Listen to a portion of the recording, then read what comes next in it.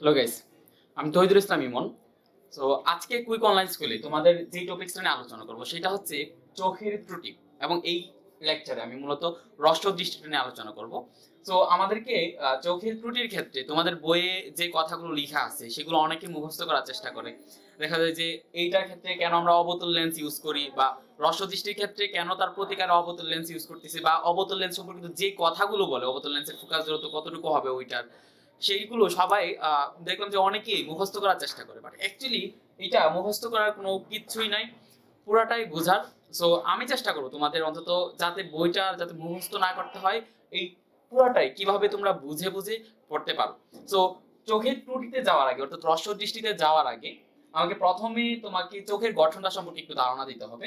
Just আমি দুই মিনিটে চোখের গঠনটা সম্পর্কে একটু ধারণা দিয়ে তারপর আমরা চোখের ত্রুটিতে যাচ্ছি। ক্লিয়ার ওকে সো খেয়াল করো।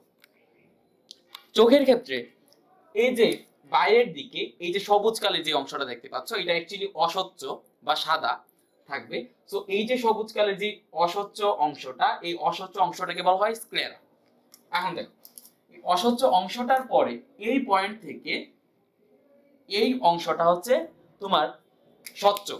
অর্থাৎ, এদের মধ্যে দিয়ে কোনো আলো প্রবেশ করতে পারবে না কিন্তু এই অংশটার মধ্য দিয়ে, এই পর্দাটারই একটা অংশ হচ্ছে এতটুকু। এই অংশটুকুর মধ্য দিয়ে আলো প্রবেশ করতে পারবে। এই অংশটা হচ্ছে স্বচ্ছ। তার মানে এই পুরো পর্দাটা হচ্ছে স্ক্লেরা স্ক্লেরার এই যে এতটুকু পর্শন এই পর্শনটা যেহেতু স্বচ্ছ, বাকিটা হচ্ছে অস্বচ্ছ, এই পর্শনটাকে বলা হয় কর্নিয়া এবং তারপরে চোখের আমরা আরেকটা স্তর দেখতে পারি। ওই স্তরটা হচ্ছে এইদিকে দেখো, কালো কালির যে অংশটা, এই কালো কালির যে স্তরটা, সেই স্তরটাকে বলা হচ্ছে কুরয়েড। কালো কালির স্তরটাকে বলা হয় কুরয়েড এবং দেখো কুরয়েডটা আসার পরে এই অংশ থেকে কুরয়েডটা একটু বেড়ে গেছে। সো এই যে যে বাড়তি অংশটা, এই যে এতটুকু যে বাড়তি অংশ, এই বাড়তি অংশটাকে বলা হচ্ছে আইরিশ। তার মানে আইরিশ কি? আইরিশ হচ্ছে কুরয়েডের বাড়তি অংশ। ক্লিয়ার তারপরে দেখো কুরয়েডের এই পজিশনে আমরা যদি দেখি, এই পজিশন হচ্ছে কুরয়েডটা একটু বেশি পর্শন আমরা দেখতে পাচ্ছি ট্রায়াঙ্গুলার একটা শেপ বা একটা ত্রিভুজের মতো একটা শেপ এই পজিশনে সো এই যে ত্রিভুজের মতো শেপ এটাকে বলা হয় সিলিয়ারি বডি সিলিয়ারি বডি এবং এই সিলিয়ারি বডি থেকে কিছু সুতার মতো যে অংশ, এগুলোকে বলা হয় সাসপেন্সরি লিগামেন্ট ওই সাসপেন্সরি লিগামেন্ট চোখের যে ল্যান্সটা আছে, ওই ল্যান্সটাকে ধরে রাখছে। এখন দেখ, এই জায়গায় একটা কলমটাকে ধরে রাখতে হলে অবশ্যই এই কলমটাকে এই পজিশনে রাখতে হলে অবশ্যই কাউকে ধরে রাখতে হবে। তো চোখের ল্যান্সটাকে এই পজিশনে ধরে রাখছে উপর থেকে কিছু লিগামেন্ট এবং নিচ থেকে কিছু লিগামেন্ট এবং উপর থেকে লিগামেন্ট এবং নিচ থেকে যে লিগামেন্ট ওই লিগামেন্ট গুলোকে বলা হয় সাসপেন্সরি লিগামেন্ট এবং জীববিজ্ঞানে অ্যাকচুয়ালি যেগুলা মানে এভাবে ঝুলে রাখার জন্য যারা সহায়তা করে, সেগুলাকে সবসময় বলা হয় সাসপেন্সরি কিছু। সাপোজ একটা মাসল যদি এটাকে ঝুলে রাখে, তখন সেটাকে বলব সাসপেন্সরি মাসল এরকম আর কি। সো দেখো, এই লিগামেন্টগুলো যেহেতু এই ল্যান্সটাকে এভাবে ধরে রাখতে সো এটাকে বলা হয় সাসপেন্সরি লিগামেন্ট এখন দেখো চোখের ক্ষেত্রে কি প্রসেস ঘটে? চোখ কীভাবে প্রতিবিম্ব গঠন করে সেটা নিয়ে আমরা একটু চিন্তা করি। চোখ যেভাবে প্রতিবিম্ব গঠন করে সেটা হচ্ছে, আমি আগেই বলছিলাম যে চোখের আমরা যদি সরি আমি আর একটা পর্শন বলতে ভুলে গেছি। কুরয়েডের নিচের যে আরেকটা স্তর আমরা এই যে গোলাপি রঙের যে স্তরটা দেখতে পাচ্ছি, এই গোলাপি রঙের স্তরটা হচ্ছে রেটিনা এবং এই রেটিনাতেই প্রতিবিম্ব গঠিত হয়। এবং আমরা যদি একটু খেয়াল করি, এই রেটিনা থেকে কিছু স্নায়ুতন্ত্র চলে গেছে, অর্থাৎ রেটিনা থেকে কিছু স্নায়ুতন্ত্র চলে গেছে এবং ওই স্নায়ুগুলো আমাদের ব্রেন পর্যন্ত গেছে। এবং ওই ব্রেন এইখানে যে দর্শন অনুভূতিটা জাগতেছে ব্রেন সেটার সেন্সেশন দিতেছে ক্লিয়ার সো এখন দেখো, তার মানে আমরা কি বুঝলাম? সেটা হচ্ছে যেহেতু এই স্নায়ুগুলোর সংযোগ হচ্ছে আমাদের রেটিনার সাথে দ্যাট রেটিনাতে যদি কোনো প্রতিবিম্ব গঠিত না হয়, তখন ওই বস্তুটাকে আমরা ক্লিয়ার দেখতে পারব না। জাস্ট প্রথম কথাটা হচ্ছে এটা যে কোনো একটা বস্তুকে ক্লিয়ার দেখতে গেলে সেই বস্তুটার প্রতিবিম্বটা অবশ্যই অবশ্যই রেটিনাতে গঠিত হইতে হবে। এটা হচ্ছে একটা বেসিক এই বেসিকটা জানার পরে আরও একটা বেসিক সম্পর্কে তোমাদেরকে ধারণা দিব। আমরা চোখের ত্রুটিতে যাওয়ার আগে সেই বেসিকগুলো জেনে যেতে হবে। তো দেখ, সেটা হচ্ছে চোখের নিকট বিন্দু এবং দূরবিন্দু কি? চোখ যে বিন্দু পর্যন্ত, অর্থাৎ যে বিন্দু পর্যন্ত সে অনায়াসে দেখতে পারে, কাছে। কাছের যে বিন্দু পর্যন্ত সে অনায়াসে দেখতে পারে, সেটাকে বলা হচ্ছে নিকট বিন্দু। সাপোজ চোখ এই বিন্দু পর্যন্ত একটা বস্তুকে ক্লিয়ার দেখতে পারে। অর্থাৎ এই বিন্দু পর্যন্ত যখন আমরা একটা বস্তু আনব, তখন সে এটাকে ক্লিয়ার দেখতে পারে। এই বস্তুর ভিতরে নিলে, অর্থাৎ এই বিন্দুর আরও যদি আমরা নিকটে নিই, বা চোখ, এই বিন্দু থেকে যদি চোখের আরও নিকটে যায়, তখন একটা বস্তু রাখলে ওই বস্তুটাকে আমরা ক্লিয়ার দেখব না, বা চোখ অনায়াসে দেখতে পারবে না। তো এই যে, যেই বিন্দুটার ভিতরে গেলে, বা যেই বিন্দুটার আরও নিকটে গেলে যে বিন্দুটা থেকে আরও চোখের দিকে গেলে, আমরা একটা বস্তুকে ক্লিয়ার দেখতে পারব না, বা একটা বস্তুকে অনায়াসে ক্লিয়ার দেখতে পারব না। ওই পয়েন্টটাকে বা ওই বিন্দুটাকে বলা হয় চোখের নিকট বিন্দু। এবং এই যে চোখের নিকট বিন্দুর যে মেজারমেন্ট এই মেজারমেন্ট হচ্ছে পঁচিশ সেন্টিমিটার তার মানে দ্যাট মিনস পঁচিশ সেন্টিমিটারের ভিতরে কোনো বস্তুকে যদি আমি নেই, তখন ওই পঁচিশ সেন্টিমিটার ভিতরের কোনো বস্তুকে আমরা একটা নর্মাল চোখ ভালোভাবে দেখতে পারবে না বা অনায়াসে সে দেখতে পারবেন না। এটা হচ্ছে বেসিক দেন আমরা চলে যাব হচ্ছে দূরবিন্দু।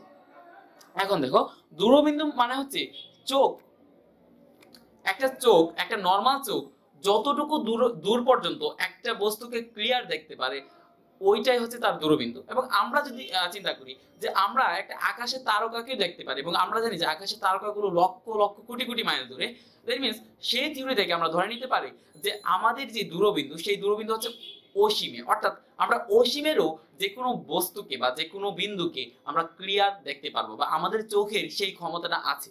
সো এই যে সর্বোচ্চ যে দূর মানে সব থেকে যে দূরের বিন্দু পর্যন্ত আমরা দেখতে পারি, ওই বিন্দুটাকে বলা হচ্ছে তোমার চোখের দূরবিন্দু। এবং ওই দূরবিন্দুটা তাহলে কোন জায়গায় আছে? সেটা হচ্ছে অসীমে আছে। এবং নিকট বিন্দু কোন জায়গায় আছে? সেটা হচ্ছে পঁচিশ সেন্টিমিটার দূরে আছে। তোমাদের বোঝার সুবিধার্থের জন্য, যেহেতু অসীমে কোনো পয়েন্টের দিকে আঁকা পসিবল না, সেহেতু আমি জাস্ট ধরে নিচ্ছি যে এদিকে একটা পয়েন্টকে অসীম ধরে নিচ্ছি, যে এই পয়েন্টটা হচ্ছে অসীম। চোখের নিকট বিন্দু হওয়া হচ্ছে এইটা এবং চোখের যে দূরবিন্দু, সেটা হচ্ছে এইটা। এবং এইটা হচ্ছে একটা চোখের এক্সিস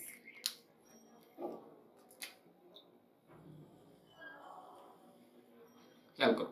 সো এইদিকে হচ্ছে আমাদের চোখের দূরবিন্দু এবং এইদিকে হচ্ছে চোখের নিকট বিন্দু ওকে সো এখন ক্লিয়ার করো। এখন আমরা যেটাতে চলে যাব, সেটা হচ্ছে একটা নর্মাল বস্তু যখন আমি রাখি, তখন সেটার প্রতিবিম্ব কীভাবে গঠিত হয়? দেখো, একটা নর্মাল চোখ অল টাইম তার যে প্রতিবিম্বটা গঠন করবে সেই অল টাইম তার প্রতিবিম্বটা গঠিত হবে হচ্ছে রেটিনায় দেখো সো আমি একটু নর্মাল চোখের এটা একে দেখাই, তাহলে তোমাদেরকে যে ত্রুটিটা, সেটা বুঝতে সুবিধা হবে। সাপোজ ধরো এই জায়গায় আমি একটা বস্তু রাখলাম। ধরো এই জায়গায় একটা বস্তু রাখলাম। এই জায়গায় বস্তুটা হচ্ছে এরকম এবং আমরা ল্যান্সে কীভাবে চিত্র আঁকতে হয়, সেটা নিয়ে আলাদা লেকচার আছে আমার। তোমরা ওই লেকচারগুলো দেখে আসতে পারো ল্যান্সে কীভাবে চিত্র আঁকতে হয়। তারপরে এইটা খুব ভালোভাবে বুঝতে পারবা। সো ওই লেকচারগুলো দেখার জন্য তুমি আমার চ্যানেলে যাওয়ার পরে প্লেলিস্ট থেকে প্লেলিস্টে যাবে এবং প্লেলিস্ট থেকে আলোর প্রতিসরণ, যে এসএসসি যে ফিজিক্স যে চ্যাপ্টারটা আছে, সেটা চুজ করবে এবং সেইখান থেকে তোমরা ল্যান্সের যে চিত্রাকার নিয়মাবলী, সেগুলো দেখে নিবা।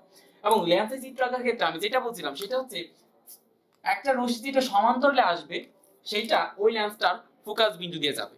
এবং আরেকটা রশ্মি যেটা আলোক কেন্দ্র দিয়ে যাবে এটা হচ্ছে আমাদের আলোক কেন্দ্র, যেটা আলোক কেন্দ্রের মধ্য দিয়ে যাবে, সেটা আলোক কেন্দ্রের মধ্য দিয়েই প্রতিসরিত হবে, সেটা আর কোনো তার ডিরেকশন চেঞ্জ করবে না। দ্যাট মিনস আমি যেটা করতে পারি, সেটা হচ্ছে এখানে আমি প্রথমে আলোক কেন্দ্র দিয়ে দিতে পারি, অর্থাৎ আলোক কেন্দ্র দিয়ে দেওয়ার পরে সে যেটা করবে, সেটা হচ্ছে সে এই পয়েন্টে পাবো এবং দেখো, আমরা কি জানি নর্মাল চোখ, তার যে প্রতিবিম্বটা গঠন করবে, সেই প্রতিবিম্বটা সে রেটিনায় গঠন করবে। অর্থাৎ একটা প্রতিবিম্ব কখন গঠিত হয়? প্রতিবিম্ব তখনই গঠিত হবে যখন দুইটা বিন্দু থেকে খেয়াল করো মানে একটা বিন্দু থেকে যে দুইটা রশ্মি আসবে, ওই দুইটা রশ্মি যদি আবার অন্য কোনো বিন্দুতে মিলিত হয়, তখন ওই বিন্দুতে ওই বিন্দুতে আমাদের ওই আগের যে বিন্দুটা ছিল, ওই আগের বিন্দুর মানে প্রথম বিন্দুর প্রতিবিম্ব বলতে পারি বা প্রতিবিম্ব গঠিত হয়। তার মানে আমরা যদি এই যেই বস্তুটা আছে, এই বস্তুটার যে উপরের যে বিন্দুটা আছে, সেই বিন্দুটা যদি আমরা প্রতিবিম্ব পাইতে চাই, অবশ্যই আমাদের আরেকটা রশ্মির প্রয়োজন এবং দুইটা রশ্মিকে অবশ্যই মিলিত হওয়া প্রয়োজন। এবং যেহেতু প্রতিবিম্বটা রেটিনায় গঠিত হবে সেহেতু ওই রশ্মিটা মিলিত হবে রেটিনাতে। সো আমি ওই রশ্মিটাকে রেটিনাতে মিল করাচ্ছি। একটু যদি দেখো তাহলে এটা হচ্ছে এরকম। ব্যবস্থা করো।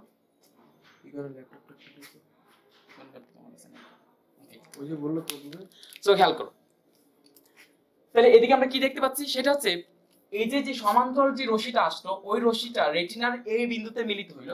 এখন দেখো, এই বিন্দুতে মিলিত হইলে আমরা কি জানি? আমরা জানি যে একটা লেন্সের মধ্য দিয়ে সমান্তরাল যে রশ্মিটা আসবে, এইটা যেই বিন্দু দিয়ে যাবে, সেটা হচ্ছে ফোকাস বিন্দু। তার মানে এখন আমরা যে লেন্সটা দেখতে পাচ্ছি চোখের, সেই লেন্সটার যে ফোকাস বিন্দু বা ফোকাস দূরত্ব, সেটা হচ্ছে এতটুকু বা ফোকাস বিন্দুটা হচ্ছে এই বিন্দুটা। এখন দেখো, এখন চোখের ত্রুটিটা কীভাবে করতে পারে? আগে আমরা সেটা জানি এবং তারপরে আমরা প্রতিকারটা দেখব। রস দৃষ্টিটা কীভাবে করতে পারে? তো সেটা দেখার জন্য আমরা কি দেখব? সেটা দেখো, রস দৃষ্টিটা ঘটতে পারে কয়েকটা কজের কারণে। ধরো, তোমার যে অক্ষি গোলকটা আছে, এই গোলকটার যদি আমি ব্যাসার্ধ বেড়ে যায় অর্থাৎ গোলকটা যদি বড় হয়ে যায়, তাহলে কি ঘটবে? তোমার লেন্সে যদি কোনো চেঞ্জ না হয়, তখন কি ঘটবে? খেয়াল করো। সাপোজ ধরো গোলকটা হচ্ছে এতটুকু, এবং এই গোলকটা এখন চেঞ্জ হয়ে গেল। গোলকটাকে চেঞ্জ করে দিচ্ছি, গোলকটার ব্যাসার্ধ বাড়িয়ে দিচ্ছি। তো গোলকটার ব্যাসার্ধ যদি আমি বাড়িয়ে দিই, খেয়াল করো, গোলকটার ব্যাসার্ধ সাপোজ এতটুকু করে দিলাম। সাপোজ ধরো, এতটুকু করে দিলাম।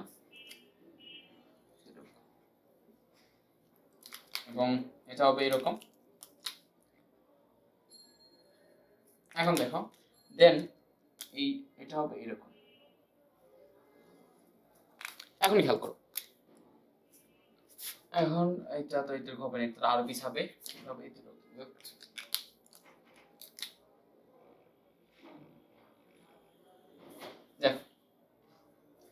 এখন দেখো। এখন তোমার চোখে যখন অক্ষিগুলোকটার যে ব্যাসার্ধ অক্ষিগুলোকটার ব্যাসার্ধ যখন বেড়ে গেল, তখন দেখো, তোমার লেন্স কিন্তু লেন্সে কিন্তু কোনো চেঞ্জ নাই, তোমার লেন্স কিন্তু ঠিকই আছে।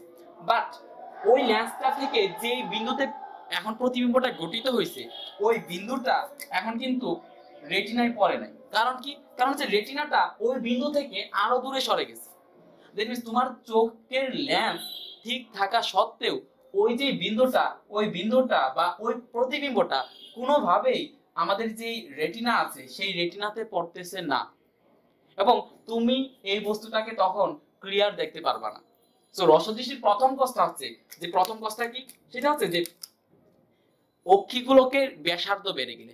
কেন অক্ষিগুলোকে ব্যাসার্ধ বেড়ে গেলে আমরা একটা বস্তুকে ক্লিয়ার দেখব না? কারণ হচ্ছে অক্ষিগুলোকে ব্যাসার্ধ যখন বেড়ে যাবে, তখন লেন্স যে বিন্দুতে বস্তুটাকে মিলিত করে, সেই সেই বিন্দু থেকে রেটিনাটা আরও দূরে সরে যাবে। যেই কারণে ওই বিন্দুটা রেটিনার উপরে পড়বে না এবং আমরা জানি যে রেটিনার উপরে যদি কোনো বিন্দু না পড়ে বা প্রতিবিম্ব না পড়ে, তখন ওই বস্তুটাকে আমরা ক্লিয়ার দেখব না। জাস্ট এইটুকু তারপরে দেখ, আর কি হইতে পারে সেটা নিয়ে আমরা চিন্তা করি যে এই যে লেন্সটা আছে, এই লেন্সের যদি ব্যাসার্ধ কমে যায়, দেখো মানে বক্রতার ব্যাসার্ধ যদি কমে যায়, ধরো, আমরা বক্রতার ব্যাসার্ধ বলতে কি বুঝি? আমরা যে লেন্সটা নিচ্ছি, ওই লেন্সটার যে মানে এটা যে গোলকের অংশ, এই লেন্সটা যে গোলকের অংশ, খেয়াল করো, অর্থাৎ লেন্সটা যে নিচ্ছি লেন্সটা যে তৈরি করছি, সেটা যে গোলকের অংশ সাপোজ এটা ছিল একটা গোলক এই লেন্সটা তৈরি করার ক্ষেত্রে আমি এখান থেকে কেটে নিছি এবং এখান থেকে কেটে নিছি, তারপর এই দুইটাকে জোড়া দিয়ে আমরা এই লেন্সটা তৈরি করছি সাপোজ চোখের লেন্সটা ধরে নাও। সো এখন দেখো, যেটা হচ্ছে যে এই অংশটা, যে গোলকের অংশ, সেই গোলকের এই এতটুকু অংশকে আমরা কি বলব? ওই গোলকের ব্যাসার্ধটাকে বলব হচ্ছে বক্রতার ব্যাসার্ধ। ক্লিয়ার ওই অংশটাকে কি বলব? বক্রতার ব্যাসার্ধ। এবং এই বক্রতার ব্যাসার্ধের অর্ধেক হচ্ছে ফোকাস দূরত্ব। তার মানে দেখ, তার মানে আমরা যদি লেন্সটার বক্রতার ব্যাসার্ধ কমাই, তখন ফোকাস দূরত্ব কমবে। তাহলে এই জায়গায় ফোকাস দূরত্ব যদি কমে, তাহলে ব্যাপারটা কি ঘটবে? খেয়াল করো, আমি ধরে নিচ্ছি যে আমার যেই চোখের যেই অক্ষিগোলকের যে ব্যাসার্ধ, সেটা বাড়ে নাই। সেটা ঠিকই আছে। সেটা ঠিকই আছে। আমি জাস্ট এই পর্দাটা দেখাচ্ছি, আমি জাস্ট রেটিনটা দেখাই। রেটিনটা এই বরাবর গেছে। এখন দেখো, ফোকাস দূরত্ব হচ্ছে এতটুকু।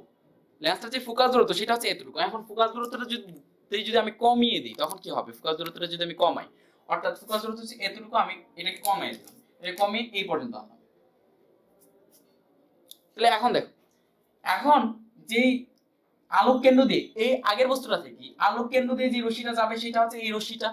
এবং সমান্তরালে যে রশ্মিটা যাবে, সেটা অবশ্যই এখন ফোকাসের, এখন মানে ল্যান্সের ফোকাস বিন্দুতে যাবে। দ্যাট মিনস এই বিন্দুতে যাবে।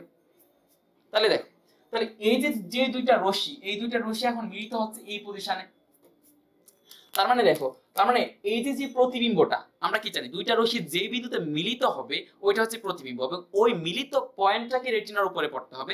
আলাদা আলাদা ভাবে পড়লে ওই বস্তুটাকে আমরা ক্লিয়ার দেখব না। তোমরা কিন্তু এইদিকে দেখতে পাচ্ছ যে আলাদা আলাদা ভাবে সবুজ যে রশ্মিটা ছিল, এইটা আমাদের রেটিনার উপরে আছে এবং আলাদাভাবে যে সমান্তরাল যেটা গেল, সেটা আলাদাভাবে আছে। বাট এটা হবে না। কারণ আমরা জানি যে প্রতিবিম্বর জন্য দুইটা বিন্দুকে মিলিত হইতে হবে এবং চোখকে ক্লিয়ার দেখার জন্য ওই মিলিত বিন্দুটাকে রেটিনার উপরে পড়তে হবে।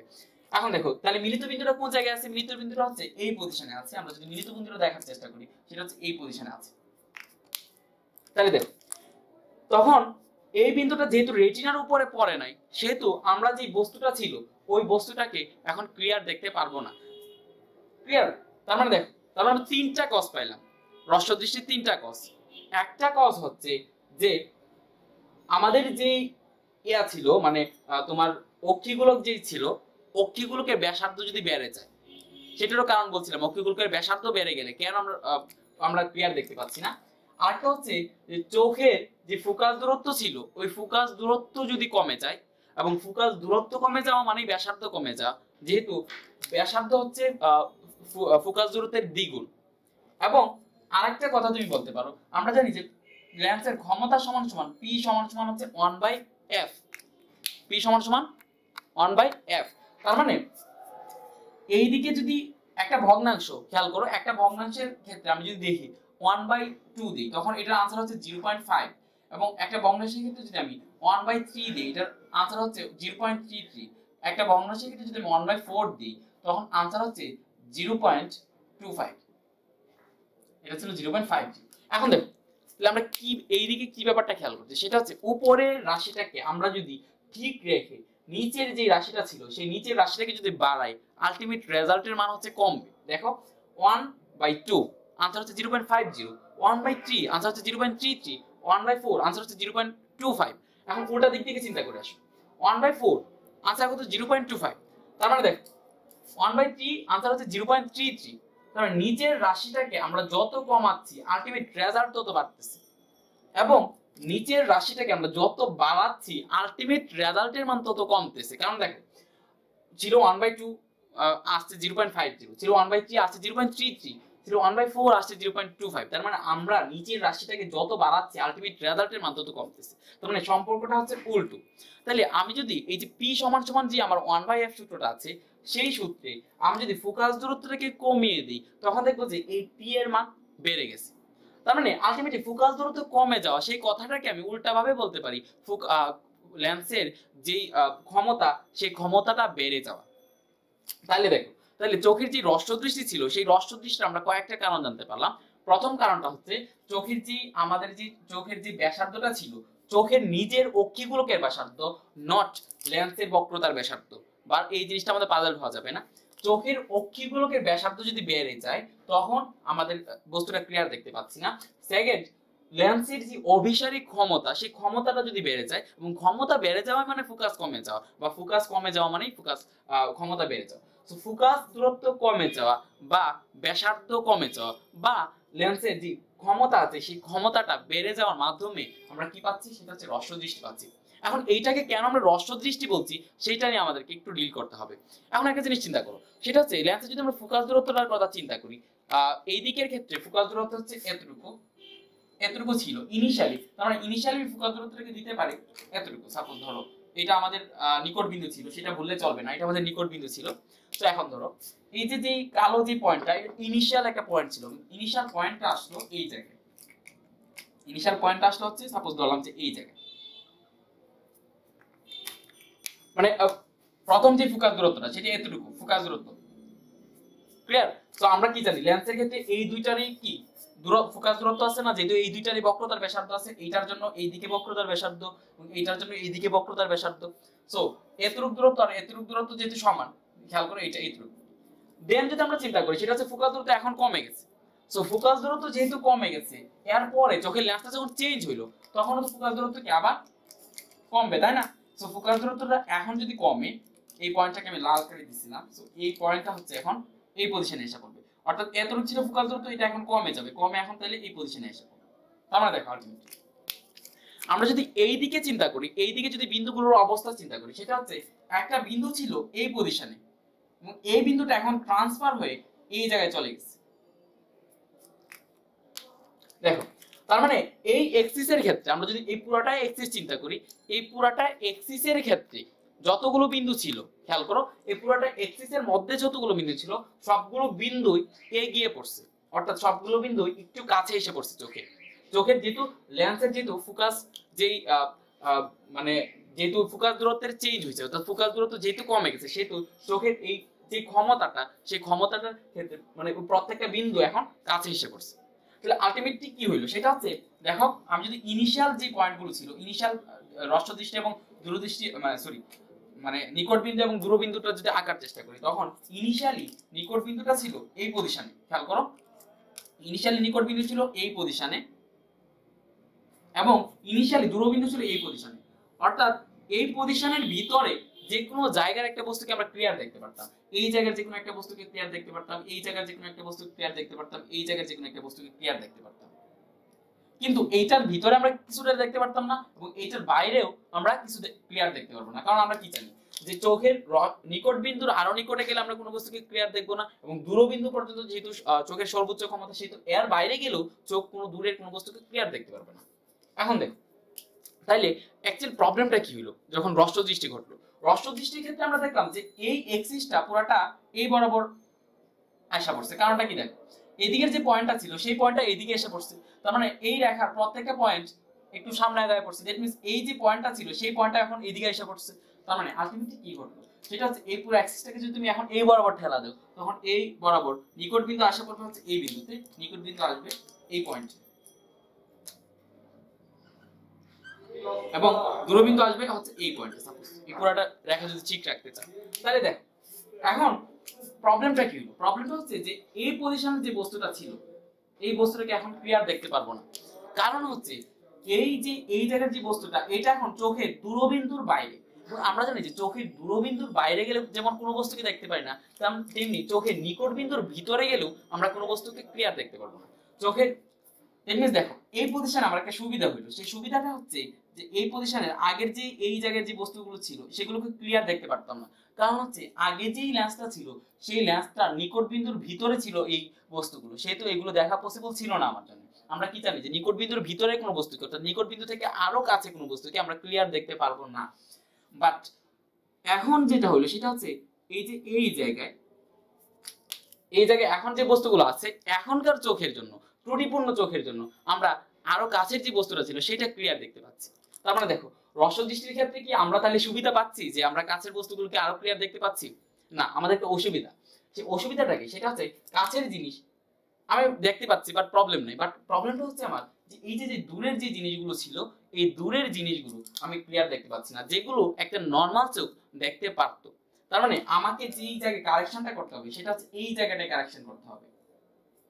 আমাকে এই জায়গাটায় কারেকশন করতে হবে। তাহলে আমি চলে যাব হচ্ছে রস দৃষ্টির প্রতিকারে। আমরা কীভাবে প্রতিকারটা করব এবং কি দিয়ে আমরা প্রতিকার করব সেটা নিয়ে আমি চিন্তা করব। তো সেটা নিয়ে চিন্তা করার জন্য আমি একটু আলাদা ডায়াগ্রাম দেখানোর চেষ্টা করব। জাস্ট এই জটিল ডায়াগ্রাম আর এখন রাখব না।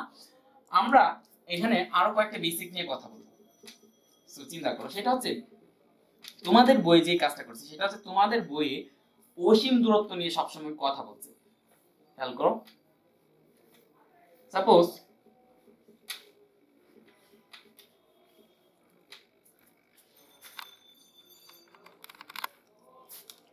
ধরো, এইটা হচ্ছে আমাদের চোখের নিকট বিন্দু।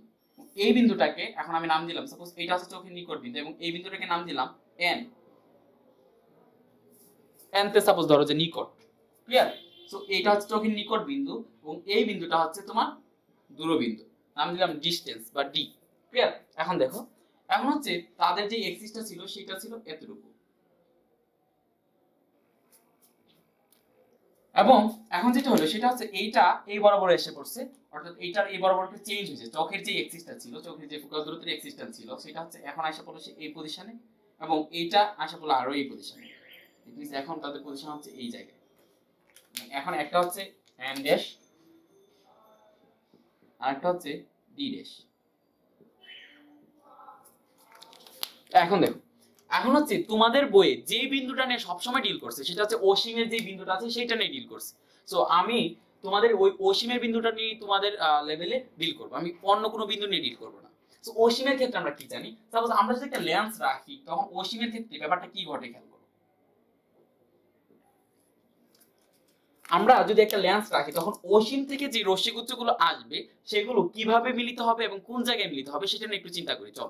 সেটা হচ্ছে যে, খেয়াল করো অসীম থেকে একটা বিন্দু থেকে যদি আমরা একটা কোনো প্রতিবিম্ব আঁকতে চাই, অবশ্যই ওই বিন্দুটা থেকে দুইটা রশ্মিকে আমাকে দিতে হবে। দুইটা রশ্মিকে ওই লেন্সটাতে রাখতে হবে। সাপোজ এই লেন্সটাতে আসতে হবে দুইটা রশ্মি কিন্তু যখন এই একটা বিন্দু থেকে দুইটা রশ্মি অসীম দূরত্ব থেকে আসবে, খেয়াল করো, যখন একটা বিন্দু থেকে দুইটা রশ্মি অসীম দূরত্ব থেকে আসবে, তখন ওই দুইটা রশ্মি কখনো এরকম হবে না। ওই দুইটা রশ্মি সমান্তরাল হবে।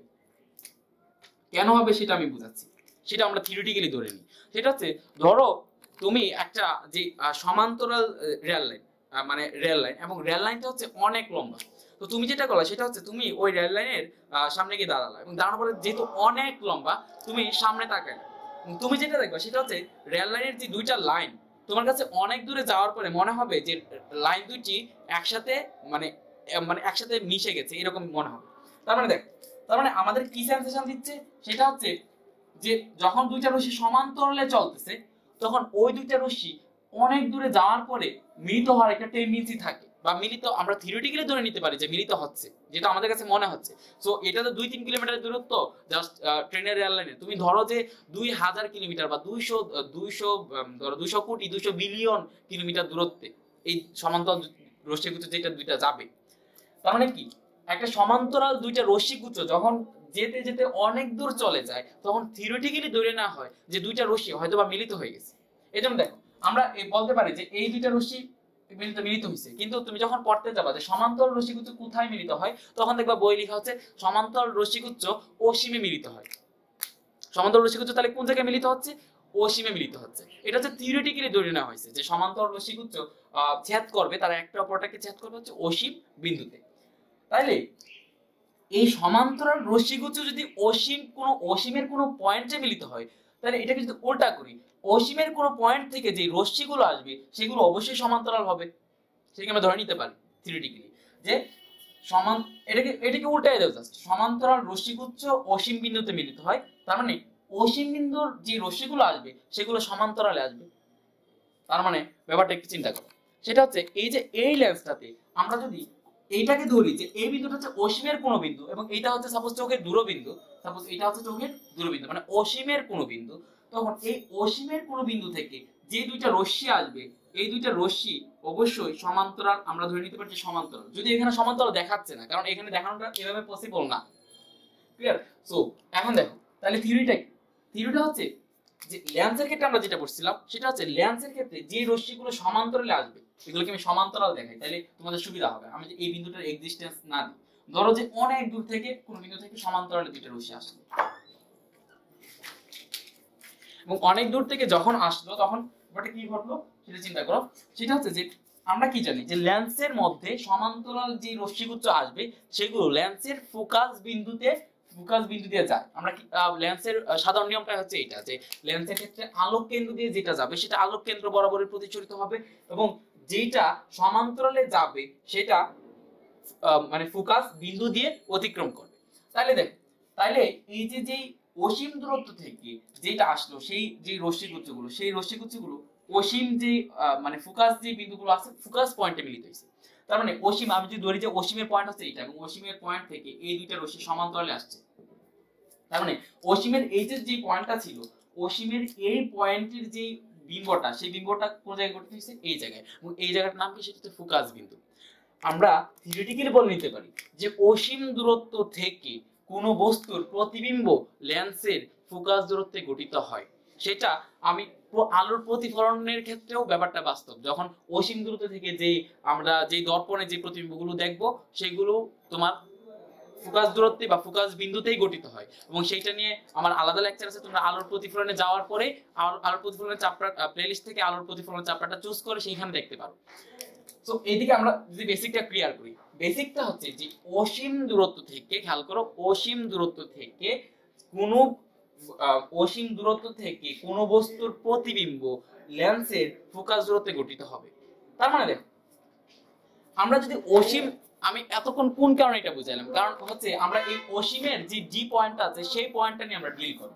তো কীভাবে ডিল করব? সেটা যদি চিন্তা করি, সেটা হচ্ছে দেখো, ধরো অসীমের কোন জায়গায় একটা বস্তু আছে এই বস্তুটা হচ্ছে এরকম। ধরো এরকম, বা একটা পয়েন্ট তো বা যে কোনো একটা পয়েন্ট তো এখন দেখো, এখন অসীমের এই পয়েন্টটাকে চোখ ক্লিয়ার দেখতে পারবে না। কারণ কি? কারণ হচ্ছে এখন চোখের দূরবিন্দু হচ্ছে এই পর্যন্ত। অর্থাৎ এর বাইরে চোখের ক্ষমতা নেই এই বস্তুটাকে দেখার। এই বস্তুটা এক্সিস্ট করতেছে হচ্ছে এই পজিশনে তাহলে কি করতে হবে? চোখকে যেটা করতে হবে, আমি দুইটা কাজ করতে পারি। একটা হচ্ছে, আমি অসীম দূরত্বে যে বস্তুটা আছে, ওই বস্তুটাকে এনে চোখের দূরবিন্দুতে স্থাপন করতে পারি। এটা হচ্ছে আমার মানে একটা কাজ। আরেকটা হচ্ছে যে অসীম দূরত্বে যে বস্তুটা আছে, সেই বস্তুটাকে চোখকে যদি আমি বুঝাইতে পারি যে ওই বস্তুটা এই জায়গায় নেই, ওই বস্তুটা এই জায়গায় আছে, তাহলে ওইটা সলভ হয়ে যায়। কীভাবে দেখো? আমি কি বলতেছি আবার খেয়াল করো। অসীম দূরত্বের যে বিন্দুটা ছিল, এখন এটা কোন জায়গায় আছে? চোখের যেই আমাদের দূরবিন্দু, সেই দূরবিন্দুতে অবস্থান করতেছে। দূরবিন্দুটা সাপোজ আমাদের রেঞ্জের মধ্যে, দুই মিটার তিন মিটার চার মিটার এরকম একটা বিন্দুর মধ্যে আছে। তাহলে আমি কি তাহলে দেখো, এই বস্তুটাকে ক্লিয়ার দেখার জন্য, অর্থাৎ অসীম দূরত্বে যে বস্তুটা আছে, সেইটাকে ক্লিয়ার দেখার জন্য অবশ্যই ওই বস্তুটাকে তুলিয়ে এনে আমাকে কোন জায়গায় রাখতে হবে? চোখের দূরবিন্দুতে রাখতে হবে। বাট এটা তো পসিবল না যে আমি প্রত্যেকটা বিন্দুকে যেগুলো দূরে আছে, সেগুলো আমার চোখের চোখের মানে সুবিধা মতো দূরত্বে নিয়ে আসব। কারণ ও অসীম দূরত্ব থেকে তুমি বস্তুগুলো কীভাবে তুলে আনবা? ইট ইজ নট পসিবল মানে এটা কোনোভাবেই করা যাবে না। আমরা কি করতে পারি? আমরা যেটা করতে পারি সেটা হচ্ছে আমরা চোখকে বুঝাইতে পারি। যে দেখো এই বস্তুটা এইদিকে নাই, বস্তুটা অ্যাকচুয়ালি এইদিকে আছে। মানে চোখকে আমরা ধোকা দিতে পারি, বা এই কাজটা আমরা কীভাবে করব? শোনো, আমরা যেটা করতে পারি সেটা হচ্ছে এই জায়গায় আমরা এমন একটা লেন্স ব্যবহার করতে পারি, যে লেন্সটা আরেকটা প্রতিবিম্ব গঠন করবে হচ্ছে এই জায়গায়। এই বস্তুটার প্রতিবিম্ব গঠন করবে এই জায়গায়। এবং তখন ওই প্রতিবিম্ব থেকে আবার রশ্মিকুচ যখন চোখে যাবে, তখন চোখ মনে করবে যে হ্যাঁ আমার নিজস্ব দূরত্বে আছে। তখন চোখ ক্লিয়ার দেখতে পারবে। খেয়াল করো, চোখ কখন ক্লিয়ার দেখবে? যখন এই জায়গায় বস্তুটা থাকবে। তার মানে অসীম দূরত্বে যে বস্তুটা আছে, সেই বস্তুটাকে এখন রাখতে হবে আমার এই জায়গায়। মানে অসীম দূরত্বের যে বস্তুটা আছে, সেই বস্তুটার প্রতিবিম্ব গঠন করতে হবে আমার এই পজিশনে এখন দেখো, তার মানে এইটা হচ্ছে আমি যদি এই পয়েন্ট এখানে যদি আমার চোখ হয়, এখানে হচ্ছে আমার চোখ, তাহলে এই পয়েন্ট থেকে এতটুকু দূরত্ব যতটুকু, এই পয়েন্ট থেকে এতটুকু দূরত্ব আরও বেশি। তার মানে দেখো, তার মানে বস্তু যেখানে থাকবে তার থেকে আরও কম দূরত্বে আমাকে কি করতে হবে? প্রতিবিম্বটা গঠন করতে হবে। দেখো প্রবলেমটা সলভ কি? প্রবলেমটা সলভ হচ্ছে যে বস্তুটা যেই জায়গায় আছে, তার থেকে কম দূরত্বে আরেকটা প্রতিবিম্ব গঠন করতে হবে। ওই প্রতিবিম্ব থেকে আবার রশ্মিগুচ্ছ যাবে, চোখে মিলিত হবে, তখন আমরা বস্তুটাকে ক্লিয়ার দেখতে পারব। তার মানে এখন দেখো, কোন, এরকম কোন লেন্স আছে? যেই লেন্স কি করে? যেই লেন্স যেই মানে বস্তু থেকেও কম দূরত্বে প্রতিবিম্ব গঠন করে। এবং আমরা যদি এইটার ক্ষেত্রে দেখি, তখন দেখব যে ওইটার ক্ষেত্রে লেন্স আছে হচ্ছে আমাদের অবতল লেন্স যেটা বস্তু থেকেও কম দূরত্বে প্রতিবিম্ব গঠন করে। তাহলে চলো আমরা সেইটা একটু দেখি যে সেইটার ক্ষেত্রে কি হয়।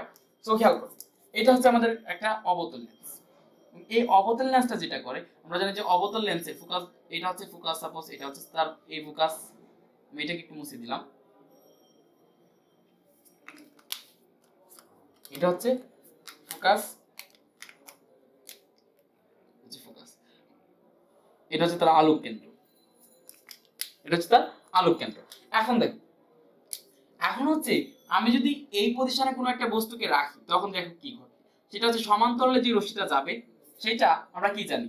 এই বরাবর চলে যাবে। অর্থাৎ সে অপসারী হবে। বাট অপসারী হওয়ার জন্য সে ইচ্ছা মতো হতে পারবে না। সে এই ফোকাসটাকে মেনটেন করে অপসারিত হবে।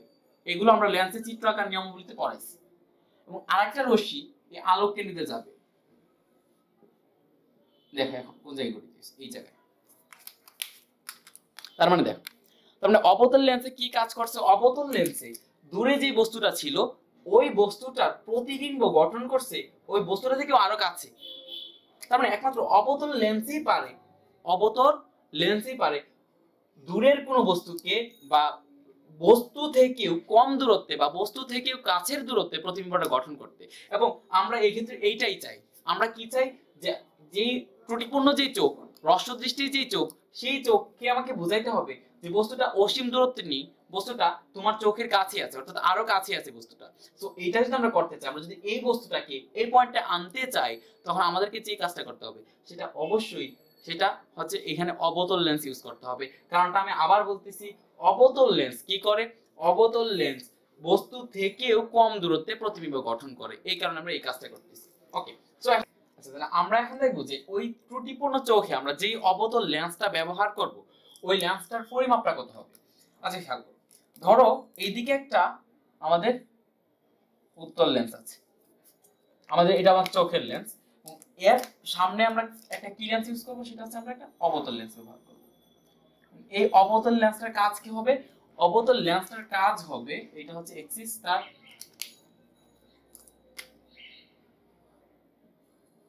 এবং এই অবতল লেন্সটার কাজ হবে অসীমে যে এই যে, এই জায়গায় যে বস্তুটা আছে, সেই বস্তুটাকে এই পয়েন্টে আনা। অর্থাৎ এই যে কোনো একটা পয়েন্টকে এই পয়েন্টে আনা।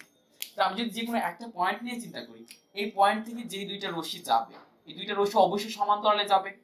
যেহেতু এটা অসীম দূরত্বে অবস্থিত, আমরা জানি যে অসীমের কোনো বিন্দু থেকে যে দুইটা রশ্মি লেন্সে যায় বা যতগুলো রশ্মি লেন্সে যায়, সবগুলো রশ্মি সমান্তরালে যায়, আমরা এটা জানি। এইখান থেকে যে রশ্মিটা যাবে, এটা যাবে হচ্ছে সমান্তরালে। এবং সমান্তরালে যে রশ্মিগুলো যায়, ওই রশ্মিগুলো কি করে? ফোকাস বিন্দু ফোকাস বিন্দু থেকে অপসৃত হয়, এই লেন্সের ক্ষেত্রে, অবতল লেন্সের ক্ষেত্রে। কিন্তু উত্তল লেন্সের ক্ষেত্রে ফোকাস বিন্দুর মধ্য দিয়ে যায়। কিন্তু এই ক্ষেত্রে, অবতল লেন্সের ক্ষেত্রে ফোকাস বিন্দু থেকে অপসৃত হয়। তাহলে ফোকাস বিন্দু থেকে যদি অপসৃত হয়, তাহলে আমি যদি এটাকে যদি এইভাবে দেখানোর চেষ্টা করি ফোকাস বিন্দু থেকে যদি অপসৃত হয়, তাহলে ব্যাপারটা হচ্ছে এরকম। এটা যদি অপসৃত হয়, এটা হচ্ছে সরি এটা হচ্ছে এরকম, খেয়াল করো। এরকম। এখন দেখ, এখন তাহলে কি করল? এই এই যে এতটুক যে দূরত্ব, আমি যদি চোখের লেন্স থেকে, খেয়াল করো, চোখের লেন্স হচ্ছে এইটা। এবং চোখের এই লেন্স থেকে যদি আমি এতটুক দূরত্ব বিবেচনা করি, চোখের লেন্স থেকে যদি আমি এতটুক দূরত্ব বিবেচনা করি, তখন এই যে এই এতটুক দূরত্ব হচ্ছে চোখের দূরবিন্দুর দূরত্ব। এতটুক দূরত্ব কার দূরত্ব? এতটুক দূরত্ব হচ্ছে চোখের দূরবিন্দুর দূরত্ব। এবং যেহেতু আমরা জানি যে সমান্তরাল রশ্মিগুচ্ছ সমান্তরাল রশ্মিগুচ্ছ যে লেন্সে যায়, ওই লেন্সের ফোকাস বিন্দুতে সে প্রতিবিম্বটা গঠন করে। আমি এটা আগেও পড়াইছি, তোমাদের এই লেকচারে আমি পড়াই নিছি যে সমান্তরাল রশ্মিগুচ্ছ মানে অসীম দূরত্ব থেকে যে রশ্মিগুলো যায়, ওই রশ্মিগুলো বা অসীম দূরত্বের কোনো একটা বস্তু ওই লেন্সের ফোকাস বিন্দুতে প্রতিবিম্ব গঠন করে। দ্যাট মিনস এইটার যেহেতু অসীম বিন্দু, অসীম দূরত্ব থেকে এই দুইটা রশ্মি গেছে দ্যাট মিনস এই এতটুকু দূরত্ব হচ্ছে এই লেন্সটার ফোকাস দূরত্ব। এই লেন্সটার ফোকাস দূরত্ব এখন একটা জিনিস চিন্তা করো, সেটা হচ্ছে আমরা যেই লেন্সটা ইউজ করি, ওই লেন্সটা বা চোখের যে চশমাটা ইউজ করি, ওইটার দূরত্ব অনেক কম। অর্থাৎ আমাদের চোখ এবং আমাদের যে লেন্স ওই চোখ এবং লেন্সের যে দূরত্ব, সেই দূরত্বটা অনেক কম। কার তুলনায়? এই অনেক বড় একটা দূরত্বের তুলনায় সেটাকে আমরা নগণ্য ধরতে পারি। এই এতটুকু দূরত্বকে আমরা না ধরলেও চলে, আমরা এই এতটুকু দূরত্বকে মেজার নাও করতে পারি বা এতটুকু দূরত্বকে বাদ দিতে পারি বা অ্যাড করতে পারি। আলটিমেটলি কি হয়? সেটা হচ্ছে আলটিমেটলি এটা ছিল চোখের দূরবিন্দুর দূরত্ব এবং এতটুকু হচ্ছে যে আমরা ল্যান্সটা ব্যবহার করছি, ওই লেন্সটার কিসের দূরত্ব? ওই লেন্সটার ফোকাস দূরত্ব। এবং আমরা এতটুকু যে দূরত্ব ছিল সেটাকে আমরা ধরতেছি না, কারণ যেহেতু অনেকটা দূরত্বের তুলনায় চোখের লেন্স এবং আমাদের ব্যবহৃত লেন্সের দূরত্ব অনেক কম, সেহেতু এটাকে আমরা নগণ্য ধরতে পারি। আমরা আলটিমেটলি যেটা হলো সেটা হচ্ছে চোখের দূরবিন্দুর যে দূরত্ব, ওই দূরত্বের সমান হয়ে গেল আমাদের যে লেন্সটা ব্যবহার করছে, ওই ল্যান্সের ফোকাস দূরত্ব। বুঝে গেছে ব্যাপারটা? তার মানে আমরা যে ত্রুটিপূর্ণ আমরা ত্রুটিপূর্ণ রস্ত্র দৃষ্টির ত্রুটিপূর্ণ চোখের ক্ষেত্রে যে লেন্সটা ব্যবহার করব, ওই লেন্সের ফোকাস দূরত্ব হবে এমন যেন এটি কি করে? অসীম দূরত্বের কোনো বস্তুকে, ত্রুটিপূর্ণ চোখের দূরবিন্দুতে বস্তুটিকে গঠন করে এবং ওই ওই লেন্সটির ফোকাস দূরত্ব হবে ত্রুটিপূর্ণ চোখের দূরবিন্দুর দূরত্বের সমান। ক্লিয়ার সো এটা যদি আমরা বুঝতে পারি, আমরা এখন তোমাদের বইয়ের চিত্রে চলে যাব। তোমাদের বইয়ের চিত্রগুলো কীভাবে দেওয়া? সেটা হচ্ছে তোমাদের বইয়ে যেভাবে দেওয়া, সেটা নিয়ে যদি আমি ক্লিক করি। খেয়াল করো। তোমাদের বইয়ে হচ্ছে ইনিশিয়ালি হচ্ছে এরকম ভাবে দেওয়া। একটা এরকম ভাবে জাস্ট এরকম ভাবে একটা লেন্স দেওয়া। খেয়াল করো।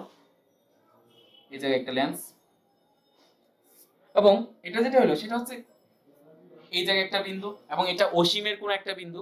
তো এই অসীমের কোন একটা বিন্দু থেকে এই যে যে রশ্মিগুলো আসলো, সেগুলো আসলো সমান্তরালে। এগুলো কিন্তু সমান্তরাল ধরতে হবে। কারণ হচ্ছে, অসীম থেকে আমরা জানি যে রশ্মিগুচ্ছ সমান্তরালে আসে। তো তুমি এই সমান্তরালে ধরো। সমান্তরাল ধরার পরে এই যেহেতু ফোকাস বিন্দুতে যাবে এবং যেহেতু রেটিনায় গঠিত হইতে হবে দ্যাট মিনস এটা এই জায়গায় গঠিত হবে। এটা হচ্ছে একটা নর্মাল চোখ। বাট যখন চোখটার অভিসারী ক্ষমতা বেড়ে যায়, তখন চোখ কি করে? চোখ কি করে?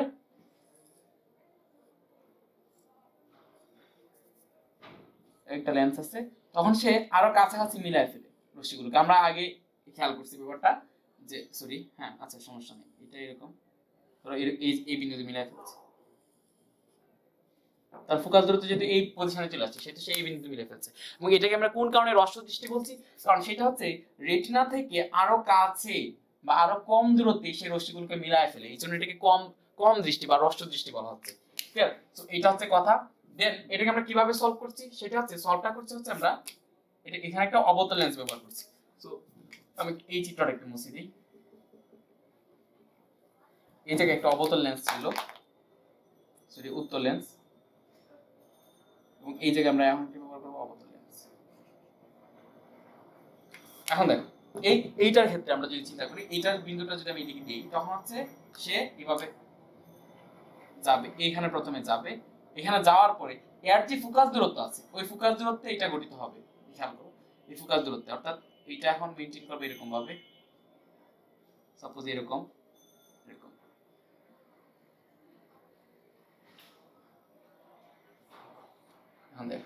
এখন সেইভাবে নিতে হবে। খেয়াল করো, তোমাদের বইয়ে এভাবে চিত্রটা দেওয়া, অর্থাৎ আগে এভাবে মিলিত হইতো।